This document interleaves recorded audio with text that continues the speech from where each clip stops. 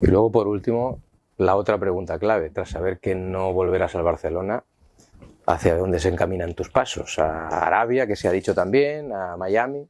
No, eh, ¿A otros sitios? no, no. Eh, tomé la decisión de que, que voy a ir a Miami. eh,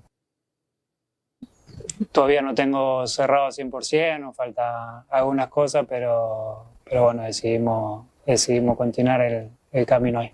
Palabras de Leo Messi con ese mensaje, eh, con esa llamada, con esa la llamada a la liga, con esa llamada a la liga y que tanto dolió, que tanto dolió, tanto dolió que yo aquella noche recibí eh, mensajes amenazadores, que os lo dije al día siguiente.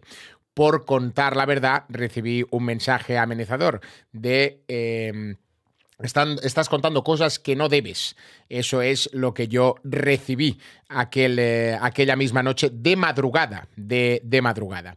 Eh, estoy muy tranquilo, pero muy tranquilo, muy tranquilo, eh, con, esta, con esta información que dimos y estoy muy convencido de esa llamada. Igual que os digo que el otro día, estando Laporta y Jorge Messi aquel ratito, hubo otra llamada para consultar y para confirmar si esto era posible o no era posible.